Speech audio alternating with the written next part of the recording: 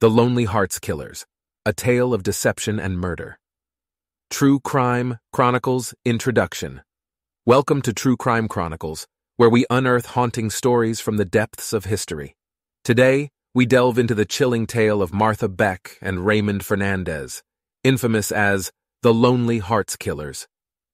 Active in the late 1940s and early 1950s, they lured victims through Lonely Hearts ads and cold-bloodedly murdered them for financial gain. Join us as we unveil the dark secrets behind this deadly duo. The Lonely Hearts Connection Martha Beck and Raymond Fernandez's paths converged through a shared longing for love and companionship. Martha, a deeply troubled woman, had experienced a tumultuous childhood marked by abuse and neglect. Born in Florida in 1920, she became pregnant as a teenager and was forced to give her baby up for adoption, leaving emotional scars that haunted her for life. By her early 30s, Martha's emotional distress intensified, and she became desperate for affection and escape from her painful past. Raymond Fernandez, a man of Spanish descent, was born in Hawaii in 1914. A skilled con artist, he was well versed in the art of manipulation. Utilizing his charming personality and eloquent language skills, he managed to swindle money from numerous women, leaving a trail of heartbroken victims behind him. In 1947, Martha and Raymond's paths crossed through a chance encounter. Both had lost their respective partners to illnesses, and their shared sense of loneliness and longing for love created a unique connection between them. They soon discovered their mutual ability to exploit the emotions of others, forming the twisted bond that would shape their future together. The charade begins. Armed with a scheme to exploit lonely and unsuspecting individuals, Martha and Raymond posed as lovelorn singles seeking companionship. Their modus operandi involved crafting eloquent and alluring letters that portrayed them as caring, sensitive individuals seeking true love. Little did their victims know that behind these beautifully penned words lay a dark agenda. Using the Lonely Hearts columns of various newspapers, Martha and Raymond sought out vulnerable individuals looking for love and affection.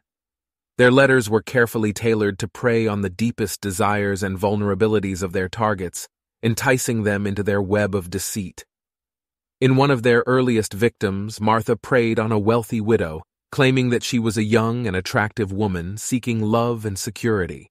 Raymond, assuming the identity of a suave and handsome military officer, joined in the deception, promising the widow a bright future together. Murder for profit.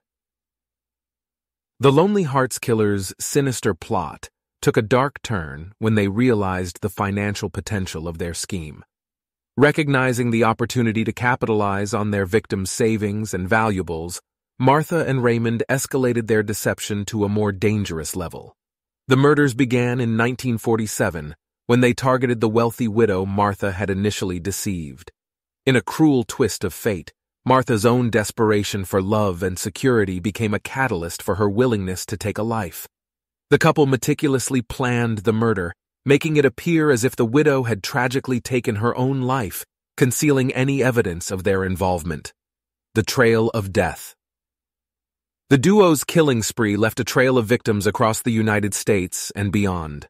Traveling from state to state, they sought out individuals who had advertised themselves in Lonely Hearts columns, unsuspecting of the danger that awaited them. The Lonely Hearts killers operated with cold efficiency, exploiting the vulnerability of their victims and gaining their trust before ruthlessly taking their lives. Each murder was premeditated, meticulously planned, and executed with callous precision. Martha and Raymond's victims varied in age and background, but they all shared one common thread the pursuit of love and happiness. However, their dreams were shattered as they fell victim to the cruel intentions of the deadly duo. The killings were as cold and calculated as they were heart wrenching. The capture and confession law enforcement eventually caught up with Martha and Raymond, but not before their reign of terror claimed several lives. Their capture was a result of a combined effort from various police agencies, who worked tirelessly to put an end to their ruthless killing spree. After their arrest, the couple showed little remorse for their heinous acts. Instead, They openly admitted to the murders, providing chilling accounts of their crimes. The extent of their brutality shocked investigators and the public alike, leaving a haunting impression that would endure for decades. The trial and public outrage. As the trial unfolded, the nation watched with horror and disbelief at the extent of Martha and Raymond's deception. The courtroom became a theater of emotions as the details of their chilling crimes were laid bare for all to hear. Public outrage grew, demanding justice for the innocent lives lost to this heartless duo. The chilling accounts of their victims and the manipulation that led to their deaths left a scar on the collective memory of society questioning how such evil could lurk behind the facade of love. The Psychology of Deception Psychologists and criminologists analyzed the minds of Martha Beck and Raymond Fernandez, seeking to understand the complexities that drove them to commit such heinous acts. The mix of childhood trauma, manipulation, and shared fantasies offered insights into their psychopathic personalities. Experts examine the dynamics of their toxic relationship, where each fueled the other's darkest desires, leading to a spiral of violence and deception. The case of the Lonely Hearts Killers continues to be a haunting example of the dangers that can arise when vulnerable individuals fall under the influence of dangerous predators. Legacy and Reflection the legacy of the Lonely Hearts Killers endures as a reminder of the dangers that lurk in the shadows of human relationships. Their story has served as a cautionary tale, highlighting the importance of scrutinizing online connections and remaining vigilant against deception and manipulation. The tragic fate of their victims serves as a somber reminder to be cautious when searching for love and companionship especially in a world where online connections can hide dark secrets and malicious intentions. In conclusion, the chilling tale of Martha Beck and Raymond Fernandez, the Lonely Hearts Killers, serves as a haunting reminder that true evil can disguise itself as love. As we conclude this grim chronicle, we encourage you to delve into history's darkest chapters to better understand the human psyche and protect ourselves from those who exploit vulnerabilities for their sinister ends.